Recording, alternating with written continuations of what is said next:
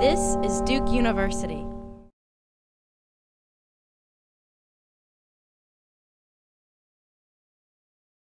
Uh, I am Linda Burton. I'm the current director of the Center for Child and Family Policy here at Duke and at the School of Public Policy. On behalf of the Center for Family Policy here, I would like to welcome you to the Sulzberger Distinguished Lecture Series. The Center for Child and Family Policy sponsors the Sulzberger's Distinguished Lecture Series to stimulate the intellectual community not only for its own faculty, research scientists, and staff, but also for Duke University broadly, Durham, and as well as the entire region. The series brings world renowned experts to Duke and Durham who have demonstrated unrivaled excellence in behavioral science and theory as well as science to policy applications. The lecture series, which began in 2006, is endowed by the Arthur Sulzberger family. Please join us afterwards for a reception in the first floor lobby. We're still doing first floor uh, this time? First floor? First floor. So uh, please take a moment to silence your cell phones as I tell you a little bit more about Secretary Mandy Cohen. Secretary Cohen is North Carolina's Secretary of Health and Human Services, where she leads one of North Carolina's largest department with nearly 16,000 employees.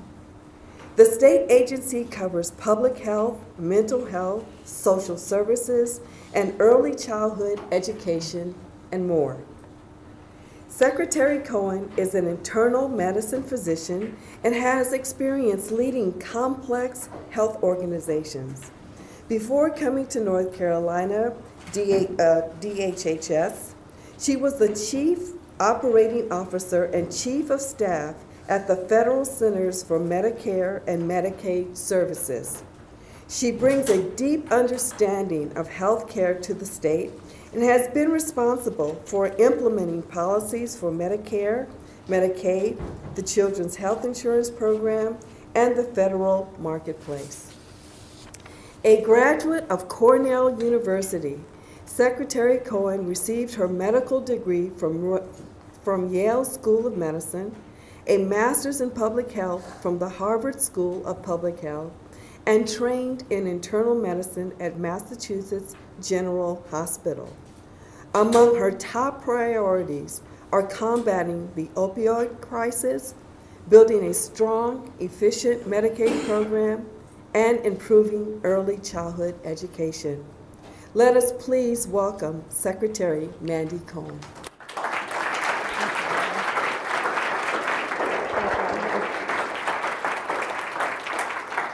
Good afternoon.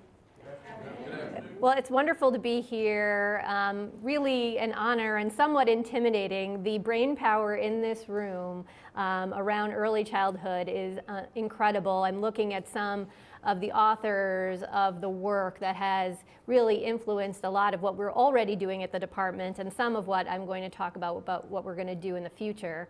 Um, before I dive into all things early childhood, I thought I would I'd share a story that I, I share, I've been sharing a lot as I, as I give talks and I meet folks around the state. And it, it's not related to, to children yet, but I think helps you understand where I come from in terms of my thinking about being the Secretary of, of Health and Human Services um, and how I think about health for the, for the state. So um, as mentioned, so I'm a primary care doctor by training. And when I was just about done with my training at Mass, Mass General up in, in, in Boston, I was in my, my last year, actually in my last few months of training, um, I met a 24-year-old woman who was a full-time college student. She had commercial insurance, she had Blue Cross Blue Shield of Massachusetts insurance, uh, and she came into my primary care clinic with sort of something that I bet some of us have gone in there. She was, she was feeling tired, she was losing weight and she was losing her hair. Uh, sort of a vague, vague complaints. And I, but I was, you know, I was almost done training. I was, I got that. I, I went to Yale and Harvard, right? Uh, so I was like, I gotta know what to do. And I asked her, you know, some very personal questions that your doctor usually asks you that you don't talk about at parties about menstrual periods and about diarrhea and family history um, of other medical illnesses. Um, I do an exam, and then I do what doctors often do best. Uh, I ordered lab tests. I, um, and luckily, all of those came back normal. Uh, about four weeks into knowing her, she's coming back. She's still having these symptoms. I examine her again. Now maybe she's having some belly pain, not sure. So I actually order some imaging studies. I actually CAT scan her belly, thinking maybe there's something there that I missed that the lab test didn't show. I thought about thyroid issues. I thought about anemia. I thought about Lyme disease. I thought about, uh, once I was scanning her belly, I started thinking about cancers. so I'm, I'm seeing her for the third time. I'm, I've known her now for eight weeks. Um, and now I'm talking to my, my mentor, my preceptor, right? Because I'm still training. Uh, and I'm, I'm saying, hey, I ordered these lab tests, I ordered these imaging, what should I do next? And we're essentially sort of standing outside the, the doorway talking about her case and saying, I think the next thing we're going to do is send her to a specialist. And we're trying to think, well, what specialist? Do we think rheumatology or endocrinology? Where do we think we go here? And when my medical tech who checked in the patient um, comes by and sort of gives us, you know, that, that piece of paper with her blood pressure and her pulse and all that. And she says, you know, I really think you need to ask the patient if she has enough to eat.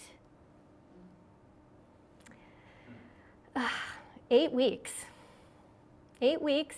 I went to Harvard and Yale, and I didn't ask my patient a very important question about her health, um, which was, you know, did she have enough to eat? And eight weeks, she went hungry because I didn't ask her about whether or not she had enough to eat, and it makes me so emotional as I think about it.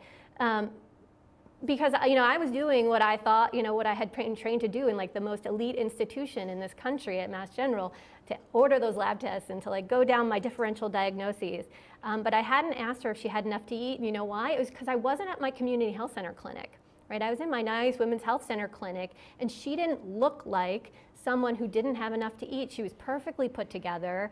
She never let on that she could have had some chaos going on in her personal life. It didn't even occur to me.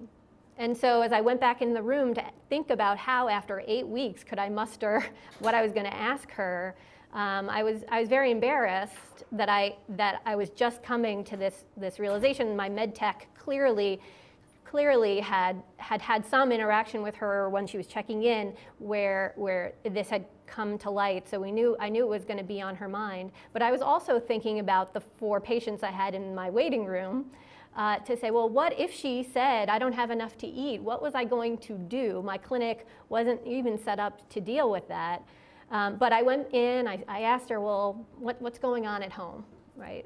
And uh, that was enough, luckily, for her to sort of open up and share what was going on with her life. Again, she's a full time college student. She had commercial insurance, but just uh, two, three months back, she left an abusive relationship.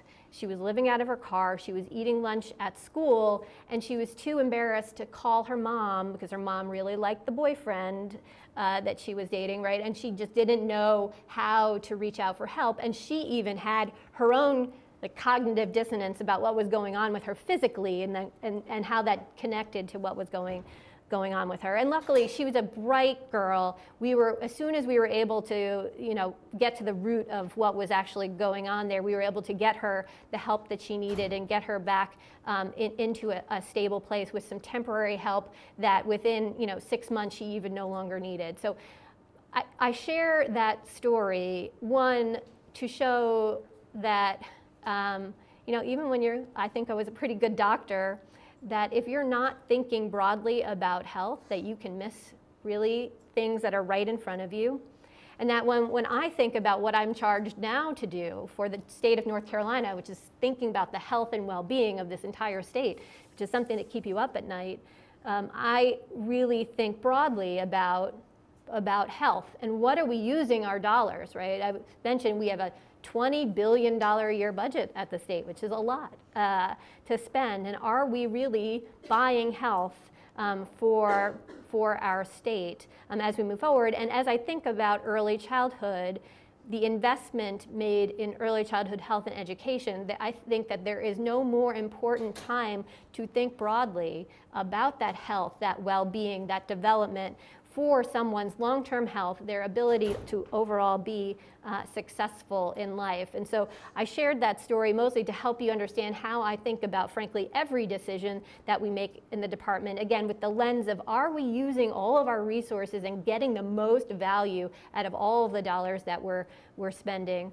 Um, and, and thinking through why it's so important to invest in kids exactly for that point right? Exactly if we're thinking about where do we want to put our resources to make sure that we have a state that is the healthiest. So with that, let me go through a lot of data, which some of you, like this is your, the, the air you breathe, this data. So but let me go through some of it um, and then want to talk about what we are trying to do with the department. And then I look forward to um, questions and dialogue.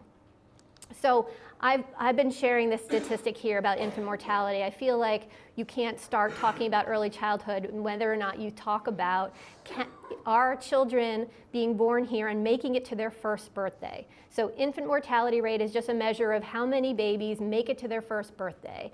And so when it's, we say North Carolina has an infant mortality rate of 7.3, that means 7.3 babies out of a 1,000 are dying before their first birthday.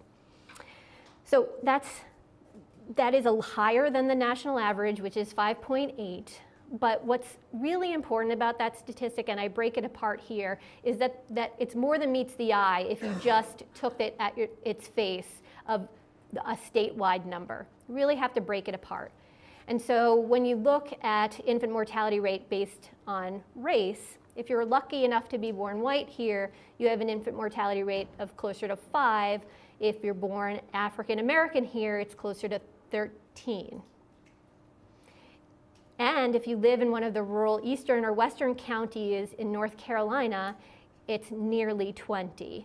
And when you take away genetic factors from what keeps a child from making it to their first birthday, we know that the factors that drive infant mortality are really a lot more related to mom than they are to baby. They're related to mom's overall health, access to prenatal care for her, and then just overall poverty. But again, that's related to mom.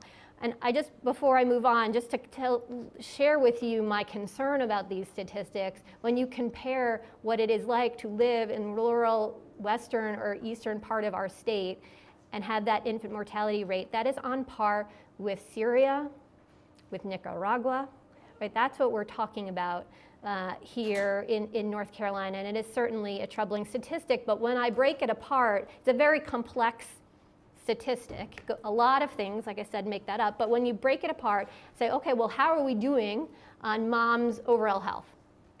And we look at, at our national ranking of where we are for women's overall health. We rank, we're not just average, we're not below average. We're, we're nearly at the bottom of the pack for some of these statistics. For mom's overall health, overall women's health, we rank 39th out of 50. This is a staggering statistic. For women who are experiencing violence, almost half of women in North Carolina have experienced some sort of intimate partner violence. That ranks us 47th out of 50. That is shocking. Women are obese. We're doing a bit better about smoking in pregnancy. We know that 55% of births are unintended, that ranks us 34th. 20% of women uninsured, 38th. 7% are born with no prenatal care, that ranks us 28th. And then poverty statistics. We have some of the worst poverty statistics related to children in particular, where we know that 25% of kids, 0 to 5, are food insecure. That ranks us 49th out of 50. That is not buying health? So knowing that, we know that we need to, to think differently. And I'm going to talk specifically about early childhood health and education, but I think the three priorities that we have for the department really try to get at this concept of buying health. We have, I have a lot of work in our Medicaid program and transformation that I'll talk about, work around opioid crisis, and then a huge bucket of work around early childhood health and education. So I'm going to share uh, something that I know most of the folks in this room know about the fact that early childhood development is really, really important. That zero to five time frame is sort of foundational. I think that is that is well known, frankly, by some of the research of people in this room. Thank you very much. Um, and we know that it's also not determinative. It just doesn't mean that you're you're born with the genetic map that you have and you know that's it, right? We know that there is a dynamic process here that's going on, and this is sort of a pictorial. I like pictures. So for me, thinking about um, brain development is really important. We know that early time uh, in life is so important to synapse formation, like all the ways in which our, our neurons are connecting to each other. So you can see even in gestation and then look, three, six, six months, two years, we're just building connections, building connections. And that's from interacting with other people. It's that face-to-face interaction. It's that la hearing language. It's seeing faces and all of that is building those neural, uh, the, those synapse formation. And then as they get older, four years, six years, then it's maturing those, those synapse formation over time. And so that is such a critical, critical time. And we also know that when the brain experiences some sort of trauma or toxic stress, it literally changes the way in which your brain chemistry works. It changes the way in which your neurons connect to each other permanently. Um, so we know you can see the normal picture there of, of, of how neurons typically interact when, when someone experiences toxic stress, whether as a child or an adult, you get a damage to that. And I'll, I'll just, as a, an aside, as we're look, learning more and more about opioids and how um, its impact on the brain, it is actually changing also the, the way our neurons interact with each other in the opioid crisis. It's almost, it is simulating a lot of that toxic stress. And so when I think about when children are experiencing trauma or adverse events, uh, that is really significant to me, particularly as someone who's thinking again about a lifelong health, lifelong learning, lifelong productivity when someone is experiencing adverse childhood events, I think that's really significant. Um, so an adverse childhood event, again, telling this audience feels uh, things you, you already know, but it's anything from divorce to a parent with substance abuse to actually um, uh, physical or emotional uh, ab abuse directly. It's food insecurity. There's sort of a standard set of questions uh, that, that folks are asked. And North Carolina ranks 30th in terms of our prevalence of adverse childhood events, where about uh, one in four kids are experiencing two or more of these sort of traumatic uh, experiences. And we know the more uh, the more adverse uh, experiences that you're experiencing as a child, we know that that is actually having, again, lifelong impact on someone's overall health. If I think about that, the bottom of the pyramid, of these adverse childhood events, and again, it changes your neurochemistry. It changes the way in which your body releases cortisol and for how long it releases cortisol. It literally reshapes how your um, your arteries are, are in your body, which again changes the way in which your body responds to things um, and changes your uh, lifelong risks of chronic disease.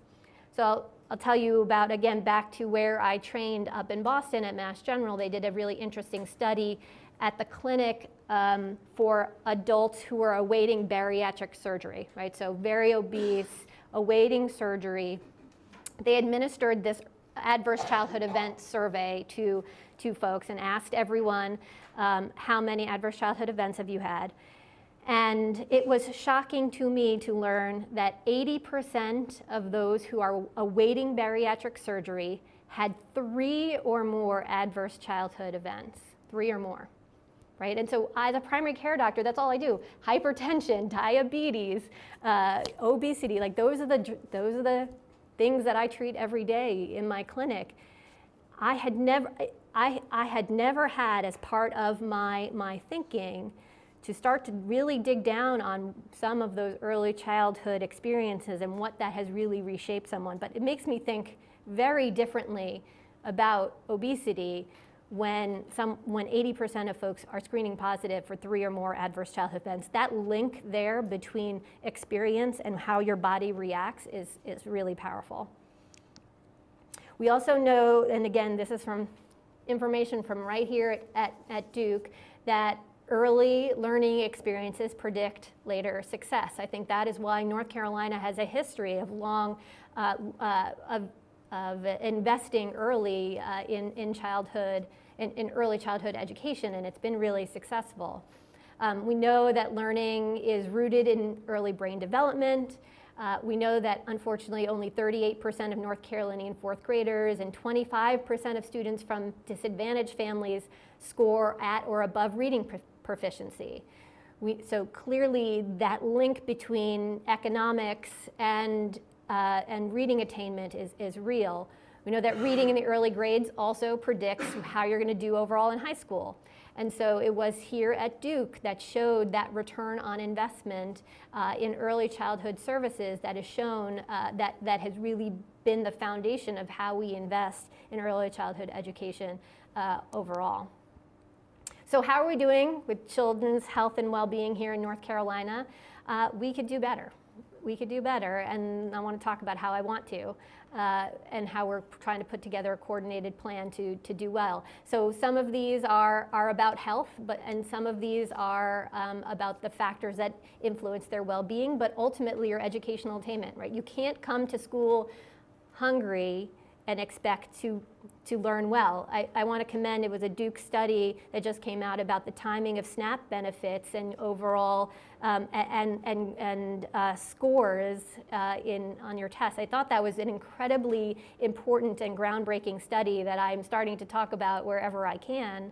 I mean, I think it shows the direct relationship between food and academic performance um, and, and how interlinked that they are. So back to this congratulations, Duke. Well done, well done uh, on really good research, well timed, so important to the national conversation that's going on right now.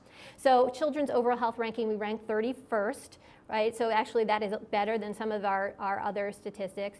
Um, and you can see North Carolina has made a big investment in, in children and early childhood education. 62% of kids are uh, proficient by end of third grade reading. We, that ranks us 15th out of, out of 50, you will know that that is an aberration of the, the other uh, um, uh, rankings for us. And I think that's good. It shows that there's been an investment and we can move the needle when we all make a, a concerted in, investment here. And I, I, thank the members of the General Assembly who were part of that, of that in, uh, investment. But we also know that young kids are, are not in school settings. 50% of them are, are not in school settings. Uh, we know that still kids are uninsured despite the fact that there's Medicaid and CHIP are out there. 10% of kids are still uninsured. Uh, too many kids live in poverty, too many kids are in, uh, food insecure, um, and then we have an increase in our foster care system, a lot related to the opioid crisis. Um, and then uh, another 70,000 kids uh, are, come through our child protective services as well. So that's just where we are by the numbers. So let me talk about then our department. I think many of you know um, that our department uh, reaches the lives of young children in so many ways, and it's really um, in incredible. So whether it's in this domain of health that I've been thinking about, or safety, or, or developmental education, we know that in Medicaid, for example, we pay for half the births in the state. We pay for home visiting work. We run the WIC program or the SNAP program uh, or the CC4C, the, the Care Coordination for, for Children program. Uh, we run and we oversee child protective services and foster care and adoption. We uh, administer the child care subsidy work. We uh, and, and NC Pre-K and Smart Start. We uh, do the child star ratings for um, our child care facilities. So tons of ways in which the department touches the lives of kids. And you know, when I joined the department a little over a year ago, I definitely saw an opportunity for improvement on how we at the department do our work. I think everyone is off doing really good work trying to help families and children and communities in their, their silos, but this is a team sport. A team sport, and we have to think strategically about our resources because we have to be good stewards of them. Um, and so we have been really thinking about how do we work differently at the department? How do we work more in a more coordinated way internally so that when we actually go out to help the children and families, we are, are the, the most coordinated we possibly can be so that we can help an individual family. And right now, I don't think that's, that is the way that we currently interact with, with, with most folks. Um, so just to tell you about the scope of our reach, it's incredible, as I mentioned. So we know that there's about 600,000 kids who are zero to five in, in North Carolina. As I mentioned, 54% of the births paid for by Medicaid, 172,000 of those are served by WIC, another 110,000 through served through SNAP. 183,000 um, are in licensed child care programs, 28,000 in pre-K, 40,000 in receiving child care subsidies, and then another 4,300 in foster, foster care kids. So our department has an incredible reach. Um, and that means an incredible responsibility to children. Um, so let me talk about how I'm hoping that we can continue to improve the work that we are, are doing going forward. So the first is, like I said, that we have to work differently and, and more collaboratively just internally. Um, and so we wanted to put a specific spotlight on early childhood, bring together our public health, our mental health, Medicaid, uh, the work in, in economic services, in child protective services, and everyone sit in the same room. And I'm sorry to say that, um, you know, before I joined, a lot of my folks at the department had never even met each other and that's not that's not good. Uh, so that's, that's, that's over. Uh, so we've all met each other. uh, so we've all met each other, and I think folks are really excited. I don't think it was for malicious reasons they hadn't met each other. We, it, was, it was a structural, both a structural problem and a cultural problem that we're overcoming. But we've also be able to come together to say, well, how do we want to be different? And so we've come up with these three domains. And again, it's an organizing structure for us, but I hope it will, will translate into a partnership uh, externally as well. So I, I'm a big you know, also have to prioritize. So you only get three buckets. So it's keep kids healthy, keep kids safe and secure, and promote children's learning and development. So that's what, what I'm going to be talking through.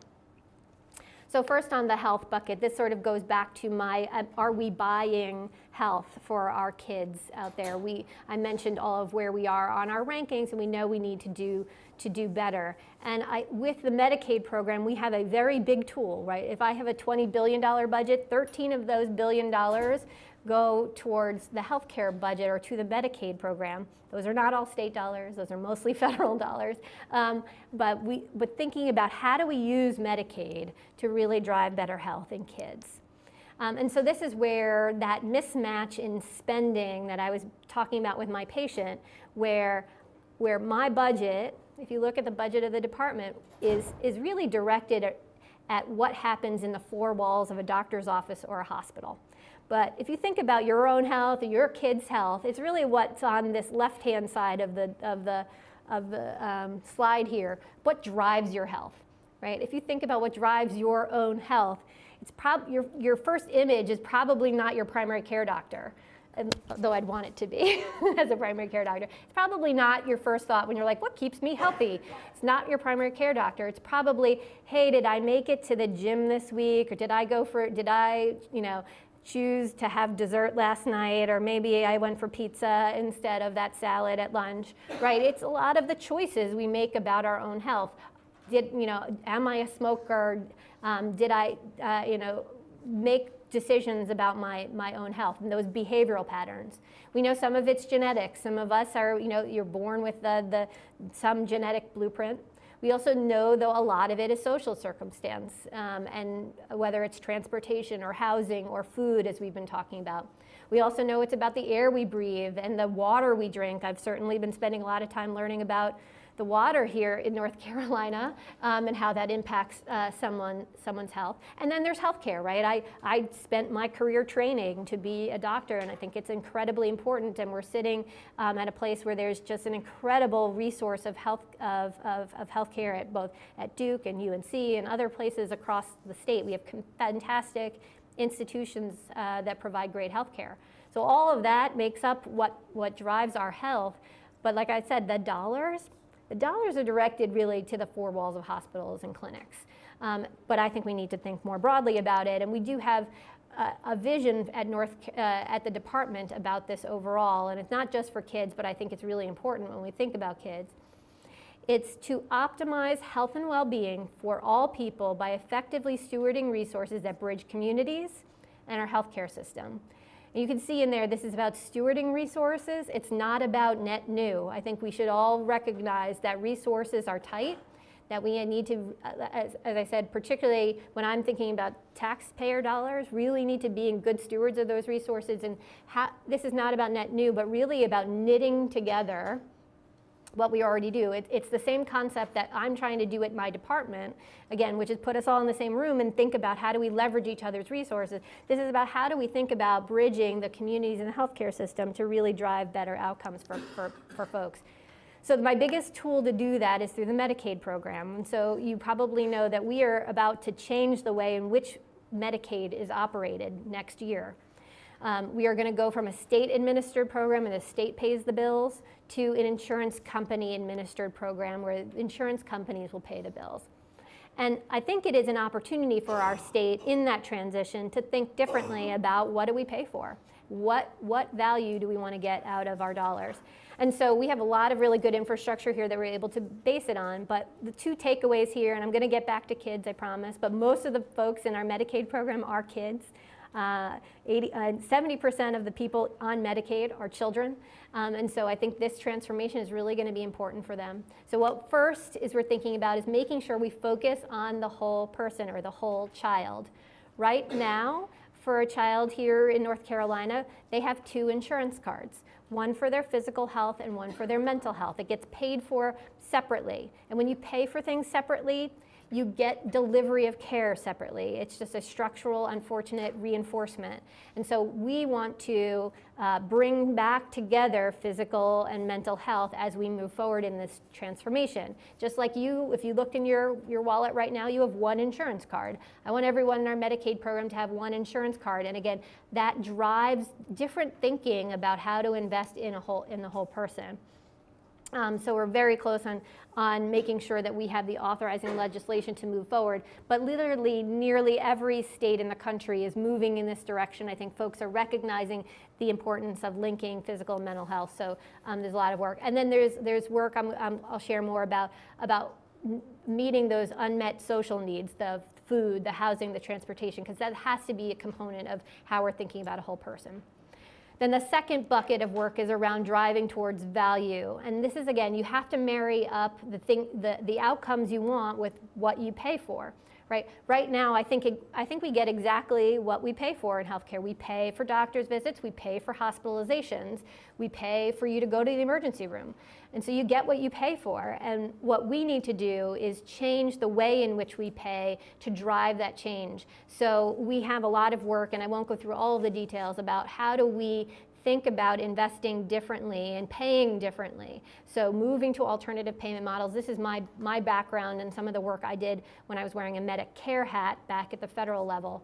Um, and how do we think again about investing in primary care to make sure that folks again are getting the resources they need. They don't get necessarily more lab tests and imaging tests like I, I did, that they actually get what is at the root of what will drive better health for them.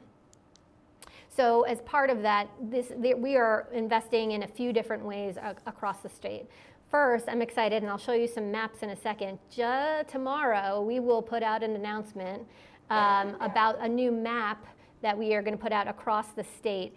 So down to the zip code level, you are going to be able to see sort of different factors that might influence someone's health. Everything from do you have access to a car uh, to food deserts and is there access to food and see what that looks like and overlay and you can compare your census tract it's all census data and USDA data, and you can compare census tracts. And I think it will really help us prioritize where to invest new resources. So as, as I can imagine county managers and county commissioners coming together to look at a map and say, okay, we, if we have a little bit of, of money and we want to think about a transportation resource in my community. Well, where, where is the highest need and how do we match what, what resources we have with those high needs? So I'll show you more on the map. So that's going to be, um, uh, it's already live, you can go there, but it's going to be a, you know, a big push uh, uh, in the press and such tomorrow. So I'm excited about that. Second is that we have been working on a standardized way of asking questions about, about food and housing. Um, so right now we have out for comment eight questions uh, related to housing, food, transportation, interpersonal violence that we hope to bring to uh, the state of North Carolina. This is not just for the Medicaid program. I hope it's used, we have Blue Cross Blue Shield, for example, participating in our, our working group because you need to ask folks with insurance also about those things because it makes up their health, right? Remember my patient, she had commercial insurance and I didn't ask her the question. And so, and so we need to do it and we need to do it in a standardized way so we know how to invest. Um, another piece that we are working on with, uh, with um, a bunch of, of uh, uh, private partners is to build a resource platform. Once you ask about food, like are you running out of food at the end of the month? You want to do something about it and navigate folks to those resources that exist in the community. And so we're thinking about a platform that not, not just tells you there's a resource available, but actually sends a message to, say it's a food bank that's run by the church. You send that the church food bank a message, hey, Mrs. Jones in my office needs your services, I'm sending her your way. They know she's coming. If she doesn't show up within a period of time, they'll kind of get back in touch with the practice to say she wasn't here, and then you sort of can take the next next steps from there. So that's exciting. That is that is a, you know a, a, some time away before we're going to stand that up, but um, hope to get started on that work actually pretty soon. And then lastly, as part of the Medicaid program, we're hoping to do some pilot um, pilots here in the state where we uh, use evidence interventions to think about how do we use our healthcare dollars differently. I'll give you a really good kids example. So we know kids with asthma end up pretty with severe asthma end up in the emergency room a lot, right? So what Cone Health did here in North Carolina was piloted an intervention where instead of continuing just pay the emergency room, you know, dollars and, and up their medications, they went to their kids' homes, they ripped up their carpet and paid for new carpet and an air filter, and then just looked to see what happened. And it's not surprising that for those kids that got the new carpet and got the air filter, their emergency room use dramatically dropped, and thus their healthcare spending dramatically dropped. And so it's so rare where you can get that such a clear win uh, in healthcare where you have less spending, kids are healthy, mom and dad are at work instead of sitting in the emergency room with a kid, kids are back at school learning, we're spending less dollars, right? So when I say I want to use Medicaid dollars to buy carpet, which sounds crazy on its face, don't worry, Representative Horn, right? Uh, it, it, you know, but that, right, I want to spend on carpet, again, to get better outcomes to spend less money. And again, it's, it's about worker productivity as well, right? Mom and dad are, are at work instead of sitting in the emergency room. So those are the kinds of places where we want to think about interventions uh, that, that make sense. All right, so that's health, and that's a lot. Um, so second, let me spend some time talking about ki keeping kids safe and secure. Um, so this is in, in, a space where we obviously oversee the child protective services work, and this is the interaction between the opioid crisis and what's going on in, with our, our communities, our children, our families. Um, and then we have a, a, an opportunity with some new legislation to really rethink about how do we support the counties, which are the, the ones that are doing this hard work every day, how do we at the state support the counties in that, that work that they're, they're, they're doing?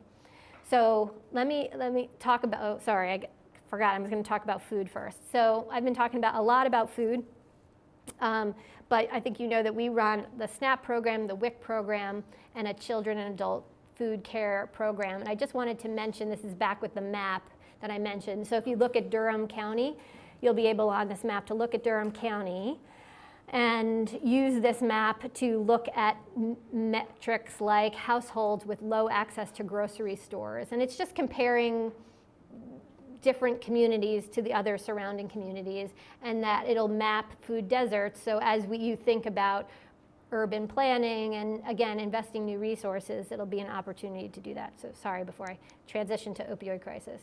So I, I, don't want to spend too much time on opioids but i think you know from picking up any newspaper every day that the opioid crisis is pretty severe here in north carolina um, and there's some particular parts of the state that are hardest hit um, and uh, wilmington being being one of them. But we we continue to see an up, upswing in the number of deaths Um, the deaths really are going up from heroin and fentanyl. They've moved on from prescription drugs, and the, the epidemic has really um, moved to illicit drugs um, when we're seeing the number of deaths. And so it is, it is really having a major impact on children and families as well. So we are seeing just a dramatic number of newborns being born exposed to uh, to opioids and having neonatal abstinence syndrome or NAS. Um, where I've, I've toured now at least three NICUs in the state that have had to create a separate wing for NAS babies, babies who are, are exposed to opioids in utero. Um, because they're so irritable, they cry so much, they actually disturb the other NICU babies, so you have to actually put them in a separate whole place. It's, it's pretty dramatic.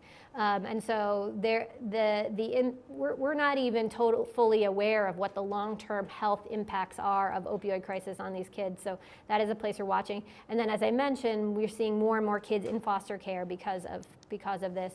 We put together a, a huge opioid action plan we've been working on for almost a year now um, which I won't go through in detail, but there's no one magic thing that we could do. It's a lot of things together.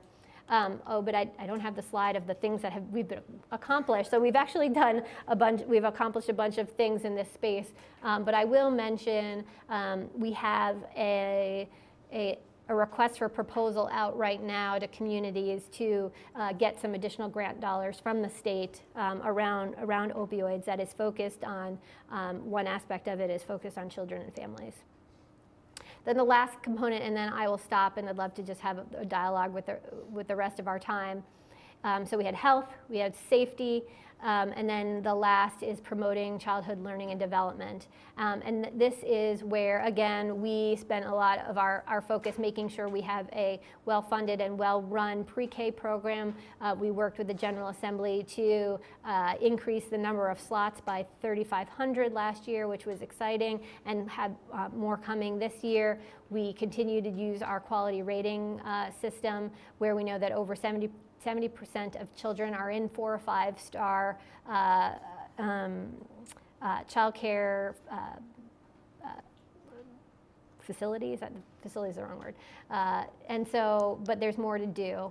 So as I look forward to uh, our our early childhood action plan, as I mentioned. I think this is a great way to organize all of us that are working in, in different spaces on this to say, okay, well, what, what are the core things that we're going to focus on? And more importantly, like, what are the metrics by which we're going to hold ourselves accountable to know if we're making progress?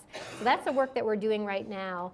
Um, and again, around the domains of health, safety, security, and learning um, and really thinking through measure, measurable targets. And I talked with a number of faculty here uh, earlier today.